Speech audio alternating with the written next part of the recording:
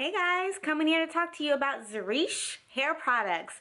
So I was working an event this past weekend. I worked the Tampa Bay hair Black Heritage Festival and they had vendors out there that were displaying different products and I came across these two products and I decided to check them out.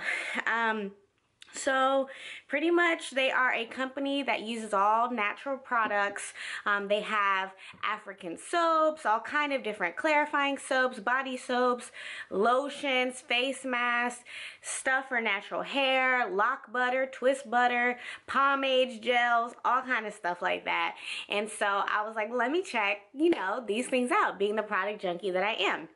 So um, I was out there and I actually recorded this video for you guys yesterday um, when I first used the products and how my hair liked it. So all the stuff you just saw in the intro um, was from first day hair. So this here is second day hair with the um, natural products that I used and I love it. I actually think my hair looks better today than it did yesterday. So anyways, good thing that my footage, I recorded this whole video for you and I had lipstick all on the side of my teeth and I was like no. So I decided to come back today and chat really quickly about kind of my first impressions about these products. So the first one that I got was the Zuresh Smooth Detangling and Natural Curl De Definer. Um, the reason why I got this product was because um, the lady at the table actually said that this is good for finer hair or people that kind of want more of a light moisture. Um, they have some other things, some really nice, creamy, you know, stuff. It's the curly heads line and that stuff actually, you know, I was interested in mainly, but she said this is probably better for my hair texture. So I went with this and this stuff comes in a little pump like this.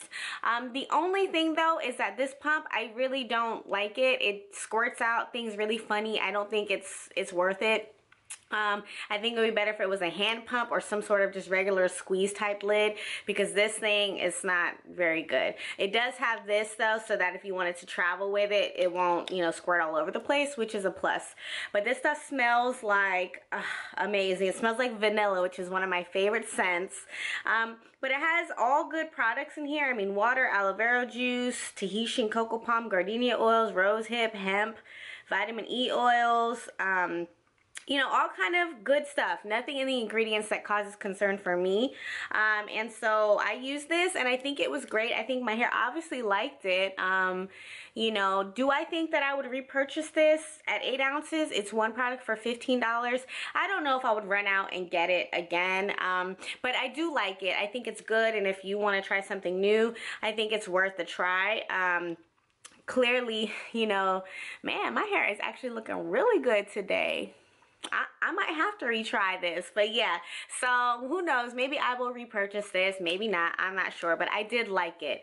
Um, it didn't have no funky smell nothing crazy. It was it was just pretty run-of-the-mill a light type of leave-in conditioner.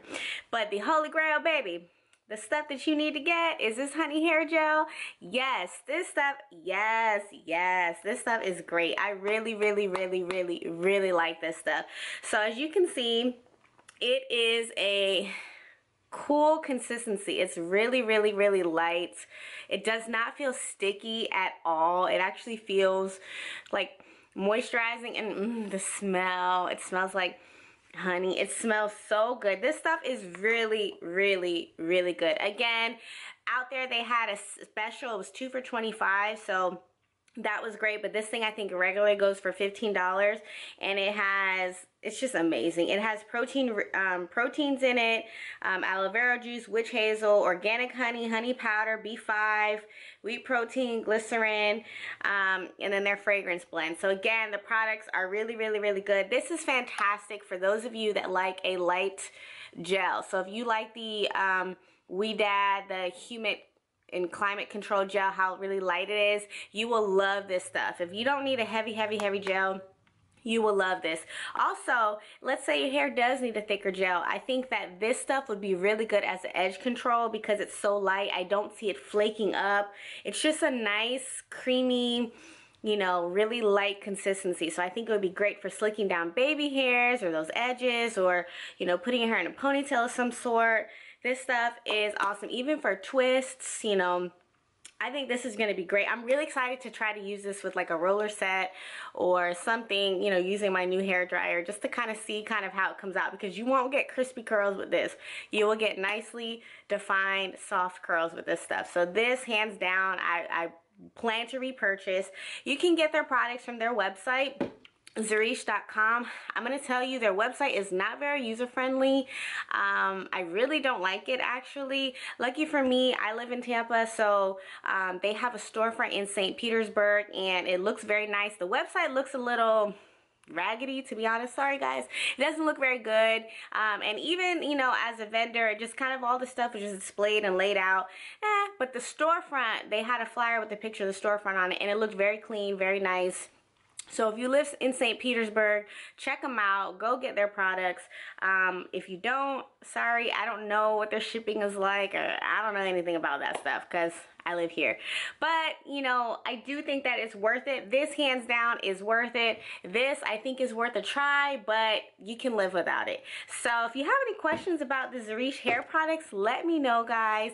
Um, I actually just filmed a tutorial on my foundation routine, my quick foundation routine. So stay tuned for that. I'm probably going to be posting that, I don't know, maybe in a couple days or so. Who knows? But stay tuned for that. And as always, thank you so much for watching. I love you guys. Bye.